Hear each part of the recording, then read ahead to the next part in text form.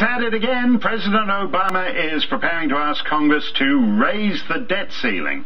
According to Treasury Department officials, the Obama administration wants to increase America's borrowing limit by a mere $1.2 trillion, therefore raising the national debt limit to a staggering $16.4 trillion. And for those of you wondering, yes, this is the same guy who chastised George W. Bush for raising the national debt back in 2008. The way Bush has done it over the last eight years is to take out a credit card from the Bank of China in the name of our children, driving up our national debt from $5 trillion for the first 42 presidents.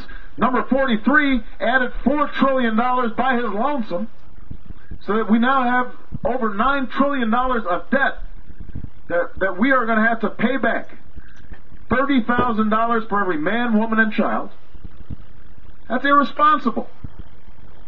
It's unpatriotic.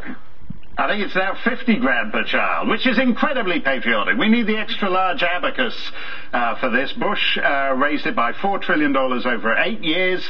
That's irresponsible. Obama has raised it by $6 trillion over three years. That's incredibly uh, responsible. And this increase will take place automatically unless lawmakers reject it by January the 14th.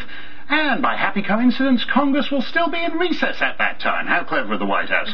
Joining me now with reaction uh, from the Fox Business Network, Charles Payne, and the executive